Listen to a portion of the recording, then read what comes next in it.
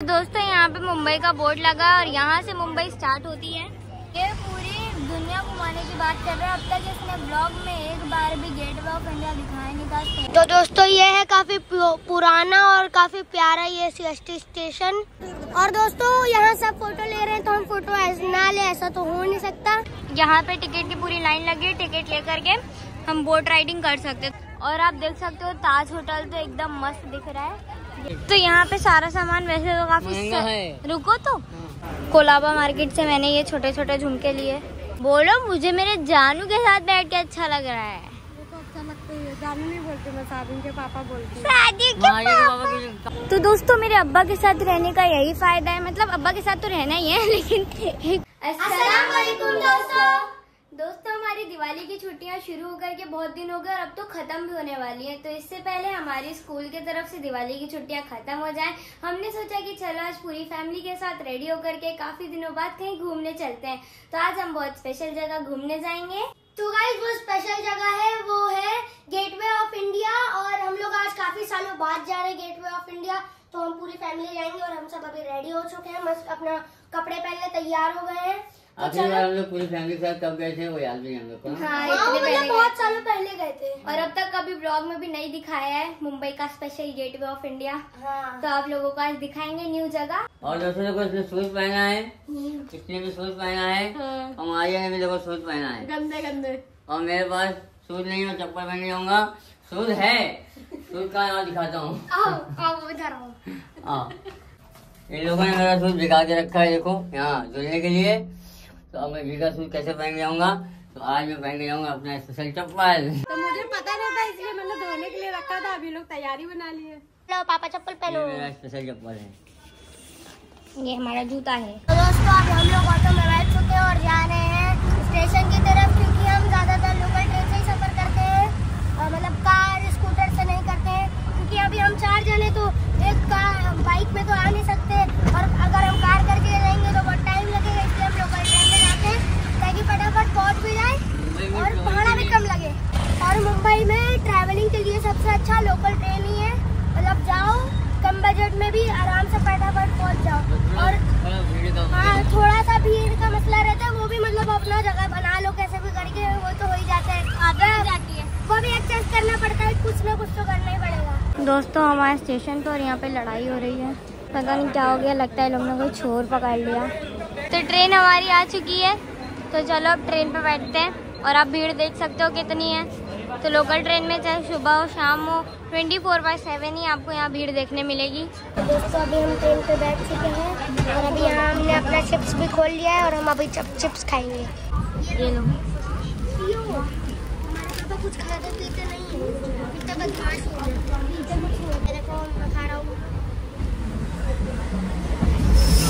ये भी हमारे साथ खाती हैं बाहर की चीज़ें।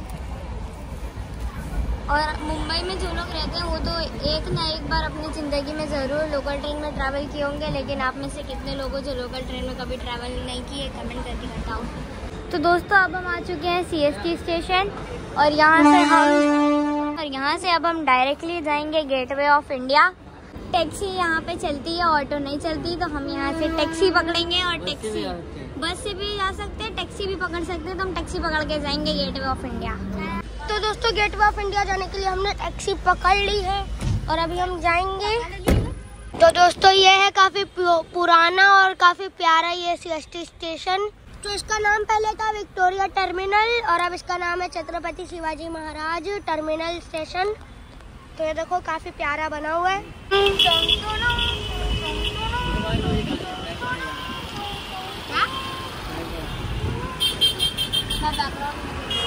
ये पूरी दुनिया घुमाने की बात कर रहे हैं। अब तक इसने ब्लॉग में एक बार भी गेट वे ऑफ़ इंडिया दिखाया नहीं था। पहली बार वो गया तो है लेकिन आज तक दिखाया थोड़ी ना क्योंकि दिखा क्योंकि जब क्योंकि जब गया था तब मैंने यूट्यूब पे वीडियो बनाना चालू ही नहीं किया था। तब मैं टिकटॉक पे वीडियो बनाता था। तो टिकटॉक पे दिखाया है टिकटॉक पे दिखाया है मैंने वैसे। अब बोलो। तो जो कौन कौन मेरे को टिकटॉक से देख रहे हैं कमेंट करके ज़रूर बताना। कोई नहीं देखता देखता होगा। बहुत सारे लोग देखते हैं हमें मतलब बहुत सारे लोग मिले जो कि हमें टिकटॉक से पहचानते हैं। इसको टिकटॉकर टिकटॉकर बोलते हैं। हाँ टिकटॉकर बोलते हैं। तो ये एक थिएटर है इसका नाम क्या है? रिगल थिएटर है अभी पीछे गया। दोस्तों अभी हम लोग आ चुके हैं गेट वे ऑफ़ इंडिया जो कि थोड़ा आगे हमें चलते जाना पड़ेगा। और ये देखो ये है ताज होटल कितना बड़ा है ये देखो। तो दोस्तों आप देखो यहाँ की भीड़ कितनी ज़्यादा भीड़ हो रही है इस वक्त। क्योंकि छुट्टियाँ चल रही तो सब लोग आए हैं घूमने। तो यहाँ से होती है entry gateway of India जाने के लिए। आप देख सकते हैं। हेलो अच्छी तो चलो एंट्री करते हैं देखो। एंट्री करने के लिए कितनी ज़्यादा भीड़ है। बहुत सारे लोग निकल रहे हैं बहुत सारे लोग जा रहे हैं। और सेफ्टी रीजंस के लिए यहाँ पे ड्रोन भी ले जाना मना है। तो कोई ड्रोन शॉट नहीं ले सकते अब हम। और यहाँ बैग की चेकिंग भी होती है तो मम्मी भी अपना बैग स्कैन करवा के आ गई हैं। तो दोस्तों, अब हम फाइनली गेटवे ऑफ़ इंडिया आ चुके हैं और गेटवे ऑफ़ इंडिया देखो कितना प्यारा दिख रहा है। और यहाँ आपको स्पेशली फोटोग्राफर ज़रूर दिखेंगे। जो कि फ़ोटो खिंचाएँगे बोलेंगे फ़ोटो खींचने। हम गेटवे ऑफ़ इंडिया तो वैसे कई बार आ चुके हैं लेकिन जब से हमने ब्लॉगिंग शुरू किया है तब से हम पहली बार आ रहे हैं गेटवे ऑफ़ इंडिया और अब आपको पहली बार ब्लॉग दिखाएँगे। क्योंकि टिकटॉक जब बनाते थे तब बहुत बार आए थे और गेटवे ऑफ़ इंडिया के सामने भी हमने टिकटॉक बनाया था। सादिम ने डांस करके बनाया था एकदम मस्त सादिम तो आज भी डांस बनता है? नहीं? नहीं आज खाली ब्लॉगिंग। तो आप देखो यहाँ कितनी पब्लिक है। तो दिवाली की छुट्टियाँ चल रही हैं जिस वजह से भीड़ है लेकिन यहाँ पे आपको हर दिन भीड़ मिलेगी क्योंकि ये काफ़ी फ़ेमस स्पॉट है घूमने के लिए। और सनसेट जब होता है तब और भी ज़्यादा प्यारा लगता है। और दोस्तों यहाँ सब फ़ोटो ले रहे हैं तो हम फ़ोटो ऐसे ना ले ऐसा तो हो नहीं सकता।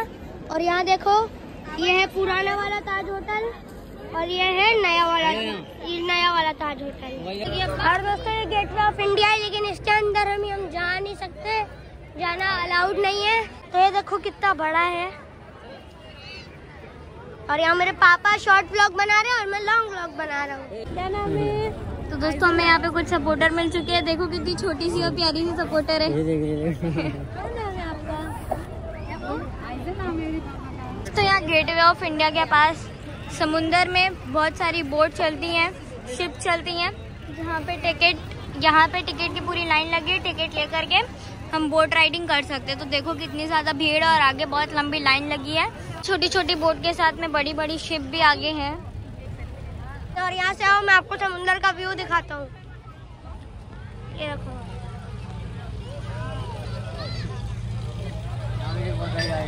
बहुत सारी बोट्स हैं यहाँ पे। आप चाहो तो राइड कर सकते हो। यहाँ बहुत सारी बोट है और बहुत सारी राइड है। और सादिम को वो वाली राइड करनी है वो वाली बोट पे। लेकिन लेकिन पापा करवा नहीं रहे क्योंकि वो सिंगल सिंगल वाली उस पे दो से ज़्यादा लोग नहीं जा सकते। वो बोले थे वो सब बहुत लोग थे। उसमें बहुत लोग जा सकते हैं तो वो हम साथ में फैमिली कर सकते हैं। क्या? बोट राइड ये जो कौन सी राइड करना है। वो वो वो वाइट वाली बोट वो सिंगल सिंगल वाला है अरे नहीं उस पर फैमिली जा सकती है बहुत अच्छे बनाते हो। Thank you Thank you, thank you. बहुत टैलेंटेड थैंक यू देखो जा रहे हैं हम लोग बहुत सारे हाँ। देखो। इतने सारे जने जा रहे हैं दोस्तों यहाँ पे मुंबई का बोर्ड लगा और यहाँ से मुंबई स्टार्ट होती है। और बताओ मुंबई की स्टार्टिंग में क्या किया लोगों ने? ये रखो। थूक के रखे। हमारा मुंबई शहर हमेशा कचरा ही रहेगा। हर जगह लोग कचरा लोग कचरा करते हैं। हाँ, तो। मतलब लोग कचरा करके रख देते हैं थूक देते हैं। प्लीज़ गंदगी मत करो। तो दोस्तों आप यहाँ पे इतनी लंबी लाइन जो देख रहे हो ये किसी और चीज़ नहीं जबकि बोर्ड के लिए लगी है। तो आप देख सकते हो कि टिकट लेने के लिए लोग कितने देर से वेट कर रहे होंगे। जब पापा के साथ मैं आई थी पहली फ़र्स्ट टाइम चल हाँ। करके घूमने के लिए हाँ। पहले पापा यहीं लेके आए थे। हाँ तो सबसे पहले यहीं लेके आए थे। याद रखना हमेशा। घुमाने लाए थे यहीं लेके आए थे। हाँ, दादी मैं और पापा। हाँ, थे। दोनों नहीं थे। हाँ, और फिर पापा ने कैमरे से फ़ोटो भी खिंचाई थी जो तुम लोग फ़ोटो अब देखते हो। हाँ, तो आपको हम वो फ़ोटो भी लगा करके दे देंगे। हाँ। वीडियो में आप देख लेना। तो वो सब छोड़ो खोलो ये बैग को इसके अंदर तुम लोग के लिए एक सरप्राइज़ है। ये लो कलेजी कबाब। चलो निकालो सब खाओ।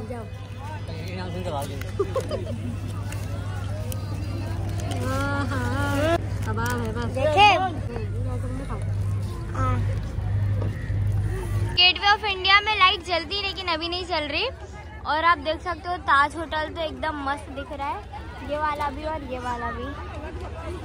और भीड़ भी उतनी है, कम हुई नहीं है, लेकिन अभी हम लोग चलते हैं बाहर। और यही गेट वे ऑफ़ इंडिया से एलिफेंटा और अलीबाग भी जा सकते हैं लेकिन उसके लिए हमें सुबह आना पड़ेगा। सुबह सुबह यहाँ से बहुत सारी फेरी निकलती है जिस पे बैठ करके हम जा सकते हैं। तो दिन किसी दिन एलिफेंटा भी जाएँगे और अलीबाग भी जाएँगे। अलीबाग जाने का तो हमारा करीब एक साल से प्लान बन रहा है। लेकिन अभी तक हमने प्लान एग्जीक्यूट नहीं किया। तब हमने आमरा ले लिया पकड़ी ले ली और कैरी ले ली। और इसमें से मुझे कैरी सबसे ज़्यादा पसंद है। तो दोस्तों अब आप शाम के टाइम पे ताज होटल को करीब से देख सकते हो कितना अच्छा लग रहा है। लाइट जल चुकी है और ताज होटल अब अब और ज़्यादा खूबसूरत दिख रहा है। तो अभी हम बाहर से ताज होटल देखते हैं। एक दिन इंशाल्लाह अंदर भी जाएँगे।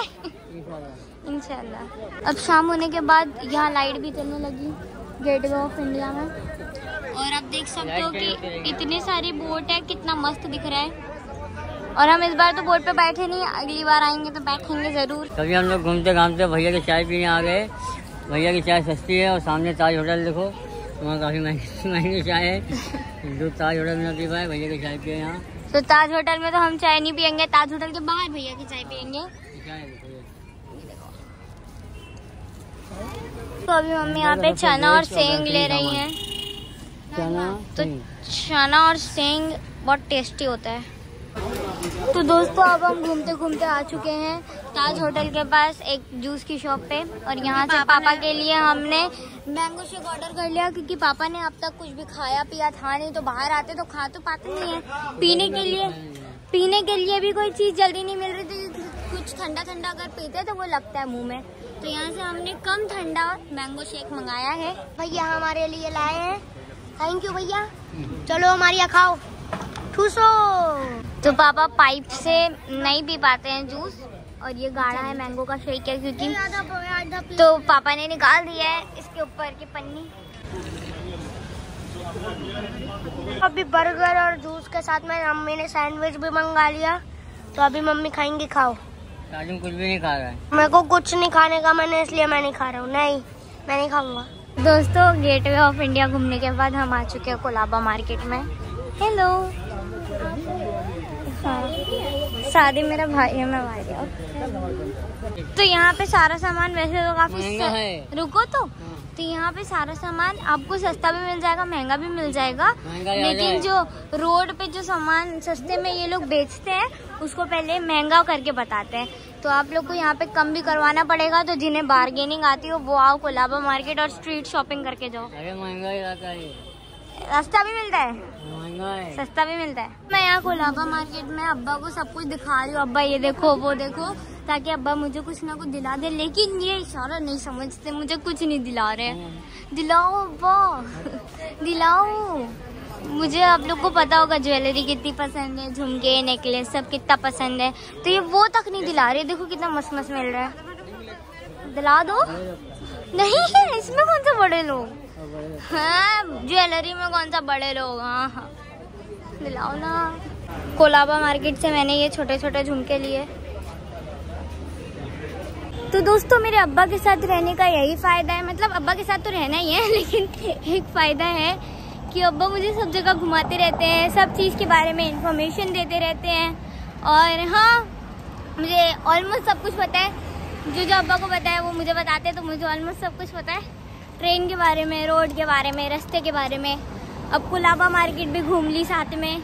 अब बाहर भी इंफॉर्मेशन लेंगे पापा और हम सबको घुमाएँगे। और दोस्तों इसी रोड पे मंत्रालय और पापा को तो हर जगह घूमना है। बोलते हैं, चलो मंत्रालय घूमते हैं। मंत्रालय को घूमने की जगह है और अब हम आ चुके हैं कुपरेज बैंड स्टैंड उधान। चलो चलो। मतलब हम ये गार्डन आ गए हैं। हाँ ये गार्डन का नाम है। इतने कॉम? इतने कॉम्प्लिकेटेड नाम कौन रखता है गार्डन का? अब अब हम कहाँ जा रहे हैं? पार्क जा रहे हैं हम पार्क। हम बारह आए हैं और ये गुलाबा का जो भी पार्क है इसमें पहली बार आए हैं। हाँ। और यहाँ पे देखिए ग्रीन दिवाली लिखा हुआ है। दिवाली खत्म हो गई लेकिन आप लोगों को फिर से एक बार हैप्पी दिवाली। और यहाँ बहुत बड़ा कंदिल भी बना है। और मुझे लगा कि ये कंदिल मोतियों से बना है दूर से देखने में तो वैसा ही लग रहा था लेकिन ये कंदील प्लास्टिक की बोतल से बना है। ये देखो पानी की जो छोटी छोटी बोतल होती है उससे बनाया गया है। कितना प्यारा प्यारा लग रहा है। और उसके अंदर पेंट किया गया है। इसीलिए यहाँ लिखा है कि ग्रीन दिवाली सेलिब्रेट करो ताकि पॉल्यूशन ना हो। दोस्तों गार्डन में आकर के ये झूला मुझे हिलता हुआ दिखा पक्का इस पे कोई भूत है लो भूत बैठ भी गया। कोई बात नहीं यहाँ एक और झूला है। ये सारे तो नहीं हिल रहे थे। सिर्फ़ वो वाला झूला क्यों हिल रहा था? भाई छोटे मियाँ तो छोटे मियाँ बड़े मियाँ सुबह अल्लाह साल हो गया ये तो का बहुत जमाना हो गया घर दिल करता है ना। वैसे मेरा वज़न कम है। फिसलो।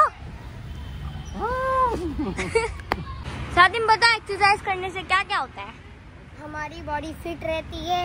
अच्छा। हमें बीमारियों के चांसेस कम हो जाते हैं। अच्छा। और हम हेल्दी रहते हैं। और टाइम पास भी होता है। ओके होता ये टायर वाले चेयर पे कैसा लग रहा है आपको? अच्छा लग रहा है। अच्छा लग रहा है? मतलब बैठते तो बैठते अच्छा लग रहा है इसमें भी। हर चीज़ में अच्छा लगता है।